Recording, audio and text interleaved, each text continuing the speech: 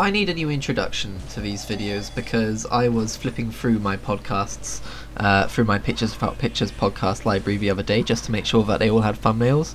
And as I was clicking through all of them to make the thumbnails come up, I just heard, hello, hello, hello. And I was like, oh no. So maybe I'll be experimenting with some things in the future, who knows. Either way, Greetings and welcome back to another episode of a Weekly Waypoint. Today we're playing Unreal Tournament 99, an old favourite of this series. This is usually the game I go to when I'm not really...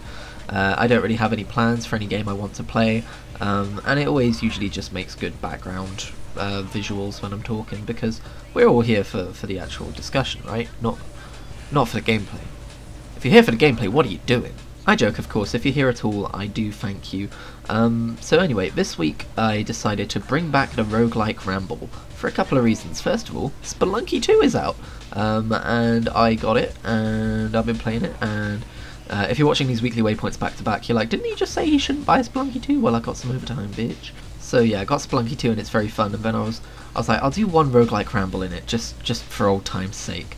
Um, and then as I did that, I was like, hey, actually, that was kind of fun. I kind of want to do that again. So now I'm experimenting with seeing where the Roguelike Ramble fits into this channel schedule. Obviously, I'm not going to do one every single day, but I think one here and there would be pretty fun. It's not necessarily going to replace the amount of uh, Adventures in and Shenanigans style videos that I usually make. I usually do two of those a week. I only did one of these this week, my apologies.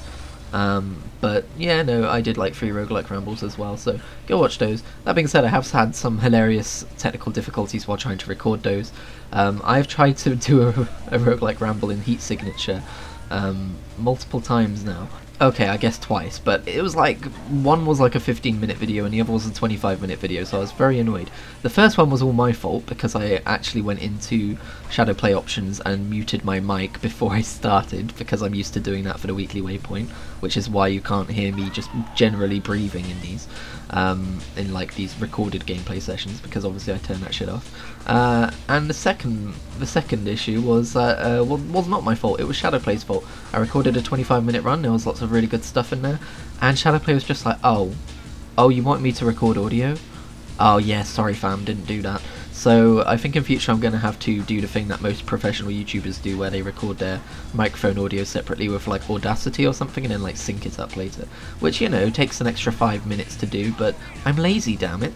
So last night I spent ages trawling through old soundtracks to firstly like Nintendo console stuff, so like the Wii Shop channel and like the Mii channel and all this kind of stuff. And that led me down a path to listen to the Wii Play and Wii Sports soundtracks and then Nintendogs as well from the DS era. Um, and as I was already in the DS era, I was like, well, because I was adding all of these tracks that I enjoyed to the Multiversal Melodies YouTube playlist, which is the one that has all of the stuff that would never be on Spotify because age or Japan. Um, so I had fun doing that, and then I was like, while I'm here, I might as well do Mario Kart games, starting with the DS one, Mario Kart DS, because that was the first Mario Kart game I played. And holy shit, the nostalgia hit me like a goddamn brick. So yes, if you're curious, the Multiversal Melodies playlist should be available somewhere on my channel uh, for you to go and find, and that will have my favourite selections of tracks from Mario Kart DS, uh, from Mario Kart uh, Wii, from Mario Kart 7 and 8. I didn't play 7 a whole lot, um, but I, I did uh, find some tracks on there that I enjoyed. Also, I've decided if I'm absolutely going to try and make a DS emulation of Mario Kart DS work at some point for Megabyte Avenue. Speaking of which, I also went back and finished RC Revenge uh, for Megabyte Avenue, so it's a, it's two parts. Uh, two streams I did it in because it turns out that the childhood games that you spend hundreds of hours in um, really only take about four or five hours to complete. So yeah, parts one and two of those are up on my live streaming channel. I don't mean to just be uh, advertising all the content I've made this week on this video, but I mean, where else am I going to do it? Twitter? Nobody reads my tweets, don't be stupid.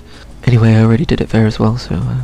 Also this week, continuing with a theme of plugging content you've probably already seen in your subscription box, I started to, or I finished rewatching, blah, blah, blah, I finished watching season 1 of Avatar Legend of Korra, and so I've got my thoughts on season 1 up on there.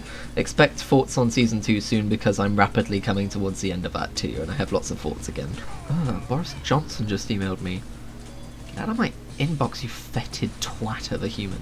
So I guess the big video game thing to talk about this week would be the fact that World of Warcraft Shadowlands has been delayed. and I'm actually relieved, and I think a lot of people in the community are. Like, it's uh, on the one hand, it's a shame because you really want to be able to play uh, your World of Warcraft because Shadowlands look um, looks amazing. But on the other hand, it's like we've seen firsthand. Um, okay, so Blizzard used to be this company which had this mantra of "it's ready when it's ready," and officially they've kept to that mantra, but they haven't. Um, and Battle for Azeroth, the latest expansion, definitely suffered from it feeling like it was rushed out the door. Uh, they laid off a whole bunch of their QA department, and there were loads of bugs and stuff, and it just generally wasn't a great time. Um, but now they're delaying Shadowlands with the whole "it's ready if it's ready when it's ready when it's ready" thing, and it just makes me feel like hopeful. Like I don't think they're gonna change anything. Uh, drastic like the covenant systems. I think they just need to work towards what they've already been working towards. They just need more time to polish it. Um, but this expansion really needs to be good and it looks like it really will be good so long as it's given the attention and care that it needs. And um, so yeah i'm really happy that they're doing that. I'm even more excited for the fact that um, they've announced a date for the pre-patch which is october 13th and i have been so excited about this pre-patch that it really does um, kind of supplement Shadowlands in that like it's like the Shadowlands before Shadowlands for me. That's kind of how hype I am. Because, and I know I've been over this a thousand times, it revamps the leveling experience and lets you level all the way through an entire expansion. Allegedly, it looks like there's going to be a couple hiccups with that, but basically it's going to be like a whole streaming series I do, which I've already gone over a thousand times, so you don't need to hear me ramble about again. But look out for that. It comes out on October 13th, but I won't be able to play it on that day because it will probably happen the minute I go to work, as it usually does.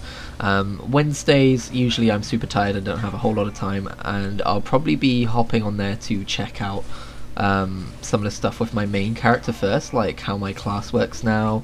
Uh, I'm going to go through my characters and do some customizations. I might stream that, I might not, uh, depends how I'm feeling on the day. Uh, keep an eye on my Twitter for that. Uh, but then probably Thursday next week we'll get started, unless I have, unless I finish that up earlier than I expect.